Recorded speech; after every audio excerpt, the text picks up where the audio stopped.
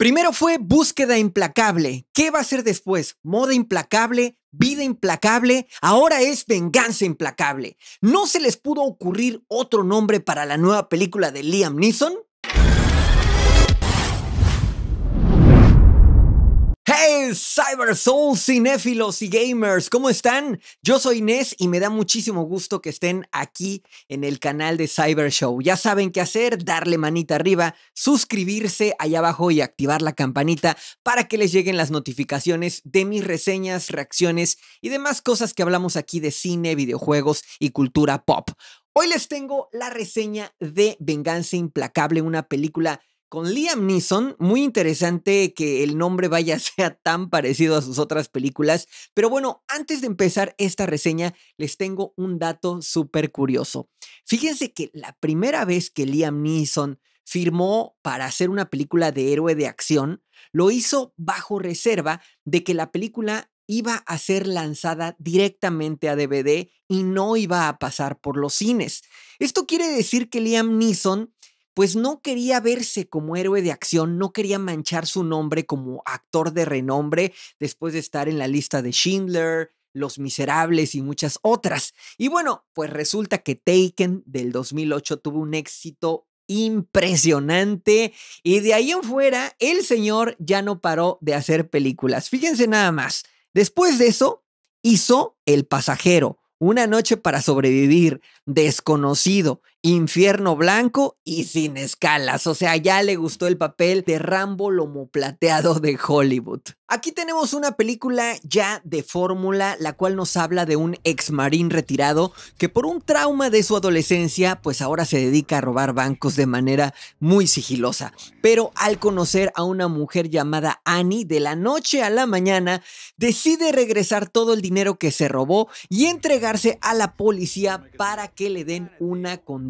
menor. Hágame usted el favor. Al brother se le ocurrió llamar al FBI así como si nada y decir, oye, ¿sabes qué? Yo soy el brother que ha estado robando por más de 10 años, tengo 9 millones de dólares aquí, los voy a devolver. ¿Por qué? Porque tengo una morra, me quiero casar y quiero limpiar mi nombre. ¿A quién se le ocurre hacer eso? Díganmelo, por favor. A Liam Neeson, sí, a Liam Neeson, ese que fue sigiloso durante más de 10 años, robó muchos bancos sin que supieran absolutamente nada de él y justo ahora simplemente decide levantar el teléfono y entregarse a cualquiera. ¿Cómo la ven? I want to turn myself in. I want to make a deal. And what's so important about it? I met a woman. Justo después de eso, dos agentes corruptos del FBI tocan a su puerta y le dicen, oiga joven, usted, bueno, no tan joven, ¿es cierto que es el ladrón sigiloso? No, no, no, yo soy del de venganza implacable, no me digan así. Y ahora voy a entregar la lana, me voy a entregar yo y quiero que me encierren un par de añitos en una prisión que esté cerca de mi amorcito. Oh, oh, oh, oh, Pues estos brothers dicen, bueno, ok, está bien, pero ¿cómo te vamos a creer? Saca la pachocha, saca el dinero y como si fueran tal cual bolsas de basura, el señor les da las llaves y les da el dinero. ¿What? Realmente esto aparece en el trailer una parte y bueno, de ahí ya no necesito contarles absolutamente nada. Ya se imaginarán lo que sigue, la clásica historia del hide and seek que ha venido haciendo este señor desde los últimos 10 años o más. Lo bueno es ver al actor de nuevo, al veterano actor Liam Neeson y a su pareja Kate Walsh. Creo que eso es lo mejor de la película. Hay una química interesante, nada fuera de lo común. Por ahí hay un cameo del T-1000, ya sabrán de quién les estoy hablando, los que sepan de cultura pop. Y pues nada más, hasta ahí, párale de contar. La película es la misma fórmula de las anteriores que ha estado haciendo este hombre pues un ex marín retirado, el cual pues decide entregarse por ciertas cosas que hizo.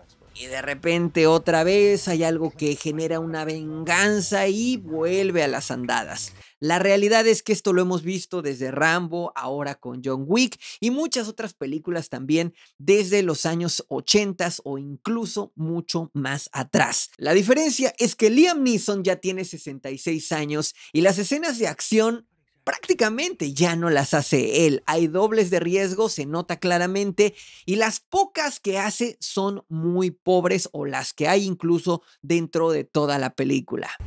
Evans.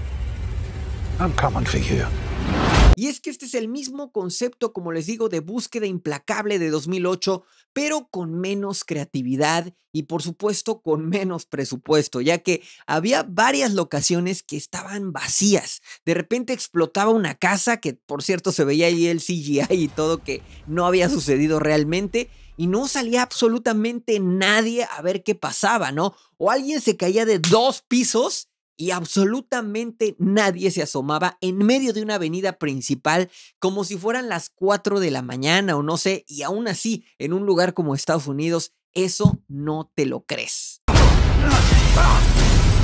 Aquí ah, los villanos, la verdad es que son unos enclenques totales, estos brothers. Sabes que al momento de que quieren hacerle algo a Liam Neeson, va a terminar muy mal, muy mal para ellos. Y de hecho hay momentos en los que siento que Liam Neeson está en el papel realmente de depredador y ellos son las presas indefensas que están tratando de huir de todo lo que les está sucediendo. Me parece que definitivamente Liam Neeson ya va por esta parte. Perdimos a ese Liam Neeson que hacía películas galardonadas al Oscar y cosas así. Y bueno, pues ha caído en esta trampa, ¿no? Igual que Robert Downey Jr. con los papeles que ha tenido en Marvel. Y, vaya, son excelentes actores que ahora se dedican a ser los One Man Army, así, a la Rambo totalmente. Mi calificación para Venganza Implacable es un 4. Así es, me parece que está bien editada.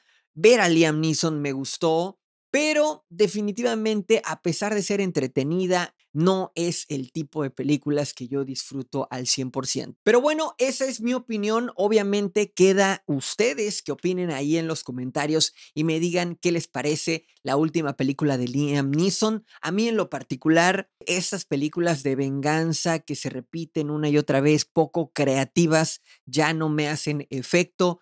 La última que me parece un poco más original fue John Wick y estoy hablando de la 1. La 2, y la 3 ya me costó mucho trabajo verla, me parece muy saturada. Y por cierto, por ahí tengo la reseña, les voy a dejar aquí arriba para que ustedes puedan verla. Bueno, opinen ustedes qué película de venganza así de un cuate que se retira y que regresa me recomendarían. Yo en lo particular quiero decirles de una película muy original de Mel Gibson. Esta película se hizo, si no mal recuerdo, en los 2000.